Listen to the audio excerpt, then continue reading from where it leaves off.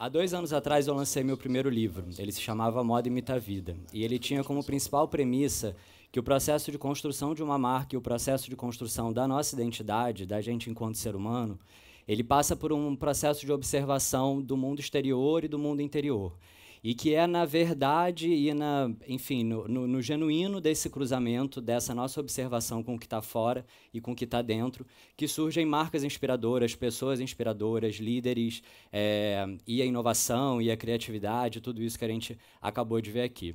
E aí eu termino esse livro é, falando que esse nosso olhar para o mundo, ultimamente, ele parece estar um pouco cansado, é, um pouco triste, um pouco pessimista, é, um pouco frio, talvez distante. E não à toa a gente tenha tanta gente falando sobre mudança e necessidade de mudança e tanta coisa acontecendo diante dos nossos olhos e a gente teme continuando fazendo as coisas como a gente fazia há muito tempo atrás. É, e aí, quando eu comecei a escrever o meu segundo livro, eu comecei a relacionar todas essas coisas que eu senti que mudaram ao longo do tempo, né? essas coisas todas que eu vi se transformando diante dos meus olhos. E aí eu cheguei à conclusão que muito mais do que um momento é, de transformação, é, ou de transição, é, ou de reinvenção, o momento que a gente está vivendo agora, ele é um momento crítico e ele é um momento de fim. Ele é um momento de fim de ciclo, né? É como se tudo que a gente conhecesse ou tudo que a gente tivesse vivido até agora precisasse chegar no fim para que a gente crie um novo, para que a gente crie uma nova realidade. É, e é esse olhar que falta para a gente, parece. A gente é, ou não percebe, ou finge que não quer ver, e a gente segue com modelos antigos, com formatos antigos, uh, sem pensar em todas as novas coisas que aconteceram.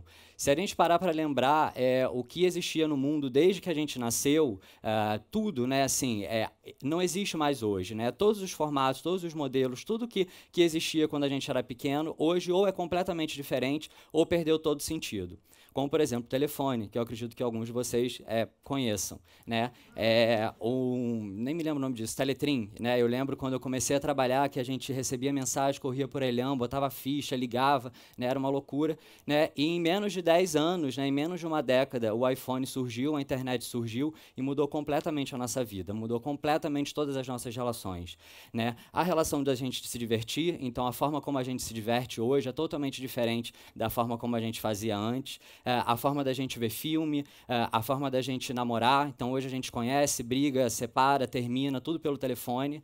É, pelo menos comigo foi assim. É, e, e, hoje é, tudo isso acaba sendo muito transformado, tudo que acontece na nossa vida acaba sendo muito transformado por conta da internet, da tecnologia. Né? Uh, e isso é muito legal, como a Xangai falou no primeiro bloco, né? como também pode ser muito difícil, muito diferente, né? ou muito desafiador. A forma como a gente estuda hoje mudou completamente ou precisa mudar. Não à toa a gente tem um terço de evasão das escolas e das faculdades, todo mundo que ingressa. Né? Os formatos de trabalho mudaram ou eles precisam mudar e a gente vive sempre um choque de realidade querendo reproduzir modelos antigos, fazer a pessoa sair de casa, ter um trânsito de duas horas para chegar num lugar, ficar oito horas lá trancada trabalhando, quando existem mil novos formatos, né? mil novas possibilidades de se fazer isso. Né? E todas as indústrias começaram a sofrer é, é, por não se adaptar ou por não uh, entender essa dificuldade ou essas diferenças. Então, a gente viu o que aconteceu com a fotografia, que a gente teve acesso à impressora, a gente começou a imprimir as fotos em casa, né? E aí a gente quebrou a Kodak, a Fuji, e hoje a gente é tão louco que a gente não imprime mais nada, fica tudo guardado no celular, né? E isso é o que vai acontecendo com o mundo, né? A indústria fonográfica hoje passa por um grande momento de transformação, a indústria da moda também, uh, e não só as indústrias, mas o capitalismo como um todo hoje começa a ser questionado, e as pessoas começam começam a, a querer é, que, que ele seja de um jeito diferente. As pessoas começam a entender que o dinheiro não tem mais a ver com sucesso, que, né, que o sucesso de uma empresa não está ligado somente ao faturamento, que o sucesso de um profissional não está somente ligado a quanto ele ganha. Né? Uh, e com isso, novos modelos começam a surgir e muita briga, muita crise, muita luta né, de quem está querendo fazer o novo, quem ainda está preso no antigo. Uh, só que fora toda essa questão filosófica, né, e, e, e, essa brincadeira, essa comparação com o fim do mundo, é, hoje, acredito que vocês saibam, né, ou pelo menos desde lá da Eco 92, tem gente gritando e falando sobre isso, é, a gente está na iminência de realmente o, o, fim do nosso mundo, né, o fim da nossa espécie. Pelo estilo de vida que a gente se habituou a levar, pela nossa dependência para o petróleo, dos recursos naturais, é, e pela a, a aceleração do tempo, pela nossa vontade de forçar o tempo, né, para ter mais dinheiro dinheiro para fazer mais, para produzir mais, uh, e isso acabou criando mais crise, mais sofrimento, como a Xangai também falou, uh, e mais necessidade de mudança, mais necessidade de transformação. Mas a gente continua né, naquele modelo antigo, e a gente com a cabeça antiga querendo resolver os problemas, querendo é, fazer novas coisas. Uh, e aí aqui alguns dados de algumas coisas que aconteceram enquanto a gente estava trabalhando, vendo televisão ou correndo atrás do nosso rabo. 90% dos mamíferos foram extintos, 95% da população marinha foi extinta, uh, ah, 75% da área de florestas foi devastada, 40% do nosso solo foi desertificado, 40% da camada do Ártico derreteu, a temperatura do planeta aumentou quase um grau, e se aumentar mais um, talvez a gente não consiga sobreviver. Uma criança morre de fome a cada 5 segundos no mundo. 5 mil pessoas morrem por dia com água contaminada. 1 bilhão de pessoas não têm acesso à água pura. E 2,8 bilhões de pessoas têm acesso restrito à água. E daqui para frente, o cenário ele é cada vez pior, a ladeira abaixo. E a gente não para para pensar nisso, a gente não para para entender o que, que a gente faz e como o que a gente faz impacta nisso, impacta, é, é, pode impactar em transformação, né, e o quanto a gente tem responsabilidade em tudo isso que aconteceu pelo estilo de, pelo estilo de vida que a gente viveu até hoje, que a gente levou.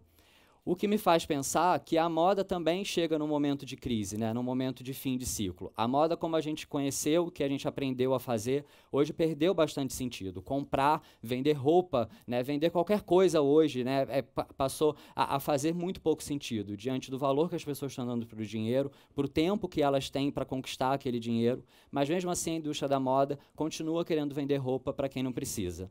Eu amo esse, é, esse trabalho do Boltanski, que apesar de não ter nada a ver com a moda, é, para mim reflete muito o cenário que a gente vive hoje, né, que a gente continua tentando fazer roupas e vender roupas para pessoas que não precisam de roupas. Né? Se vocês olharem para o armário de vocês, eu acredito que vocês tenham lá 80% de coisas que vocês não usam. Né? E vocês continuam comprando, né? a gente continua né, girando essa carroça, né, esse carrossel, uh, e isso impacta na água, o preço da, da nossa conta de luz, o preço da nossa conta de água, sem a gente parar muito para pensar sobre isso. No ano, são produzindo 80 bilhões de roupas, de peças de roupa. 30% dessas peças não são utilizadas. Só que todas as roupas elas vêm da natureza. O algodão vem da natureza, a água que, é, que a gente usa para lavar vem da natureza. Né? A gente é, utiliza os recursos naturais que eles poderiam ser para comida, para moradia, para uma série de coisas, né? produzindo roupas que as pessoas não usam. Uh, ah, 24 bilhões de sobras de roupa por ano, né, que dá esse número de 30%. Só no Bom Retiro, em São Paulo, 12 toneladas delas são descartadas por dia de forma é, desapropriada. Ou seja, são queimadas, jogadas em aterros sanitários, né, e isso, enfim, a gente não tem a menor noção. Na Índia, 100 mil toneladas de peças são despejadas por ano. A moda é a segunda indústria que mais emite, que mais gasta, que mais emite CO2, uh, ah, é a segunda que mais gasta água, é a segunda que mais polui os mares e os oceanos. E um fazendeiro ou agricultor se suicida a cada 30 minutos, né, por dívida ou por perda de colheita ou por doença devido a agrotóxicos, né, ou produtos né, que são forjados para aumentar o tempo, para acelerar o tempo. E 200 mil, 200 mil pessoas morreram nos, 30, nos últimos 30 anos em Bangladesh, que é de onde sai a maioria das roupas que a gente usa uh, em acidentes de trabalho, em fábricas que caíram, que pegaram fogo e tal, por, enfim, é, por total displicência dos donos das fábricas, né, e vontade de cada vez mais vender pelo menor preço, e enxugar na estrutura, né, enfim, e escravizar e fazer, enfim, uma série de coisas que a gente sabe que acontece. E isso me faz né, pensar que a moda também perdeu sentido diante desse mundo que a gente vive hoje. Né? E que também a gente precise, na moda, de uma grande virada, assim como a gente precisa no mundo. Uh, eu sou otimista, apesar de todos esses dados, apesar de tudo isso que a gente, é, que eu falei aqui, que eu mostrei para vocês, porque eu acho que hoje a gente vive um momento de expansão da consciência coletiva. Né? Cada vez mais existem pessoas falando sobre isso que eu estou falando, vocês vão ver aqui, ver, vão ver em muitos outros lugares, e se vocês entrarem no Facebook de vocês, vocês vão ver pessoas defendendo negros, gays, é, e, enfim, né, pessoas com uma, acima do peso, pessoas com idade, nananã, e política, nananã. Então, assim, cada vez mais as pessoas estão entendendo o papel delas no mundo, eu observo muito isso, e eu acho que isso é o que vai provocar a transformação, e isso é o que vai provocar essa grande virada na moda. Né? O entendimento que hoje ah, existem questões a serem tratadas e alternativas a serem tratadas. Né? Por exemplo, hoje comprar não é a única forma mais que você pode ter acesso a uma peça de roupa. Você pode trocar, pegar emprestado, né? e novos modelos econômicos, novos modelos de transação surgem. Né? É, é, é importante considerar hoje toda a questão ambiental em volta desse processo de construção de uma roupa. Né? Todas as questões sociais que têm a ver com os funcionários, os empregados, né? as pessoas que compram né? e que fazem a sua roupa. E pensar em todos os padrões culturais que a moda cria e criou até hoje, né? relacionados à magreza, à beleza, à exclusão social, a poder, a dinheiro, a luxo, né? uma série de coisas que só serviram para frustrar cada vez mais pessoas, né? fuder com a cabeça de muita gente, é, atrapalhar a vida de muita gente. Uh, e a gente segue fazendo isso como se fosse muito normal, como se fosse muito natural, como se fosse a coisa né, mais legal do mundo. Uh, não foi sempre que eu pensei desse jeito, eu trabalho com moda há 10 anos também. É, e em algum momento essa ficha começou a cair para mim e eu comecei a entender, olhar essas coisas e isso parou de fazer sentido para mim, né? Uh, e aí eu fui viajar, eu fui para a Amazônia e eu fui na Amazônia entender, né, como é que é feito couro e, eu, e ali eu entendi que hoje se não chove em São Paulo é por conta da bolsa de couro que eu usava, do sapato de couro que eu usava. Eu fui para a Índia para entender como é que moram, né, e como é que trabalham essas pessoas, né, que fazem a roupa que eu uso. Uh, e aí eu fui para o Vale do Silício na Califórnia eu fui entender né, sobre novos modelos econômicos, né, sobre economia colaborativa, sobre economia compartilhada, né, e eu fui vendo que realmente existem possibilidades, uma vez que a gente pare e que a gente pense sobre aquilo que a gente está fazendo e aquilo que a gente está financiando. Porque todo mundo aqui, por mais que não seja da indústria da moda, compra roupa e financia marcas né, que sejam a favor ou não da vida, né, que sejam a favor ou não do nosso planeta. Uh, e eu cheguei à conclusão de que o que falta na moda e o que se perdeu na moda ao longo dos últimos anos foi o propósito. Né? O propósito dela de servir aos sonhos e de servir à felicidade, servir à vida das pessoas. É para isso que a moda existe. Só que hoje ela acabou se transformando, né, é, em, na sua grande maioria, alguma coisa é, muito ruim, alguma coisa duvidosa, né, e alguma coisa é, que, que não é tão legal né, como um dia ela já foi. E eu passei a buscar o meu propósito, porque eu entendi que somente assim eu poderia chegar é, e, e, retomar o propósito da moda. E aí, para mim, passou a, a, a, não ter mais sentido trabalhar numa grande marca, e eu abandonei meu trabalho, e passou a fazer muito sentido para mim a me envolver com pessoas que querem mudar o mundo através da moda. E assim surgiu a Malha, que é hoje, antes já de nascer, né, o maior espaço de moda colaborativa do Brasil, onde a nossa ideia ali é reinventar toda a cadeia e trabalhar de forma colaborativa, né, de forma é, coletiva, uh, e recriar a forma de se pensar a moda, de criar moda, uh, de produzir moda, de comunicar moda, de vender moda, fazer tudo isso de um jeito diferente, né, de um jeito coletivo. Então, enfim, vocês podem ver mais sobre esse projeto pela internet por aí. Uh, e eu só consegui chegar nesse ponto, e eu só consegui fazer isso porque eu entendi uh, que a transformação ela precisava acontecer em mim. Né? Eu, ao longo desse tempo, uh, eu fui trabalhando uh, com consultoria, com outras empresas e tentando compartilhar ou criar projeto pra projetos para empresas né, que falassem sobre sustentabilidade. Eu me formei em design para sustentabilidade, para ter um embasamento para isso. E eu chegava nas empresas eu falava e eu tentava e as pessoas não valorizavam porque eu entendi que elas precisavam ser as primeiras a se sensibilizarem com isso. Né? Uh, e enquanto isso não acontecer, enquanto a gente não se sensibilizar, a gente não vai conseguir transformar nada, a gente não vai conseguir mudar nada.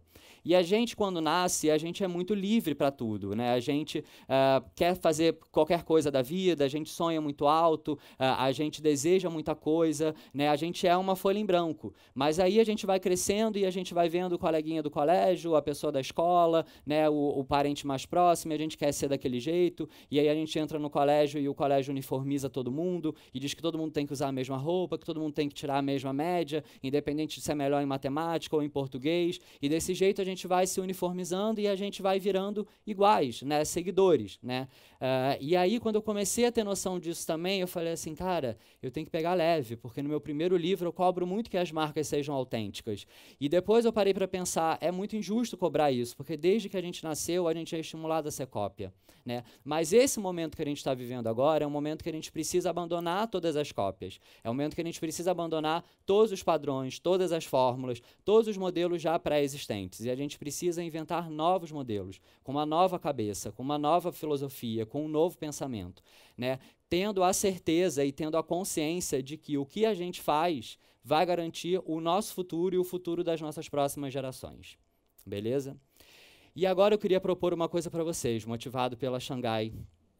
É, eu tenho ainda aqui alguns minutinhos e, como eu falei, eu acredito que toda transformação ela precisa acontecer dentro da gente primeiro, né? E a gente para muito pouco para olhar para dentro, né? Para escutar o que, que a gente verdadeiramente quer. Então eu queria propor que todo mundo agora, convidar na verdade, quem quiser se sentir à vontade, é, eu queria propor que todo mundo fechasse os olhos e que a gente fizesse um minuto de silêncio.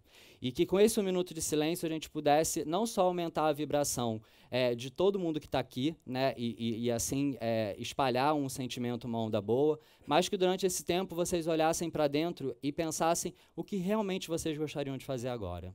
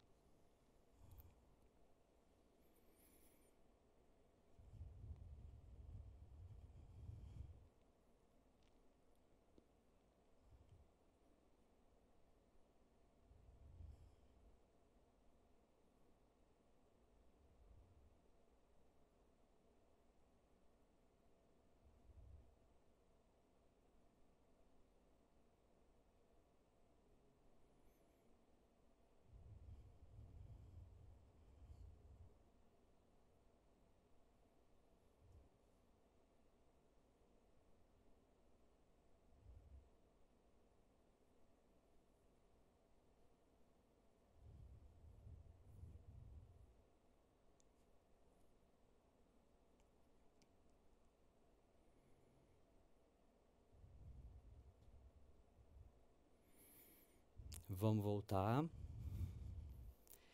E aí pode parecer uma grande loucura, né? Eu estar tá falando isso aqui para vocês. É eu que venho da moda, eu que comecei aqui falando de moda, e comecei falando de telefone, de e de computador, né? É, mas de fato hoje e cada vez mais eu acredito nisso. Assim, é, o mundo mudou e ele vai continuar mudando e vocês vão ouvir hoje que mais de 100 vezes as pessoas que passarem por aqui falarem isso. Mas antes do mundo mudar, e enquanto o mundo está mudando, é a gente que precisa se transformar.